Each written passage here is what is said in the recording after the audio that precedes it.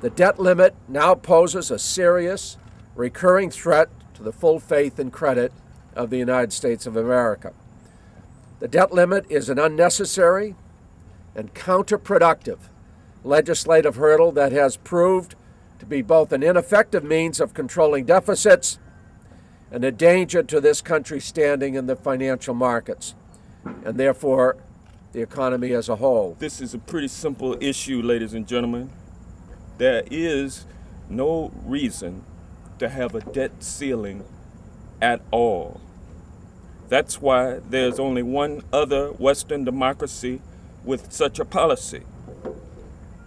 You see, when Congress directs federal spending, it assumes responsibility for allowing the Treasury to do what it needs to do to pay for it.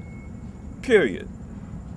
We've seen that the Republican Party is willing to use the debt ceiling as a destructive political tool, no matter what the cost may be to the country.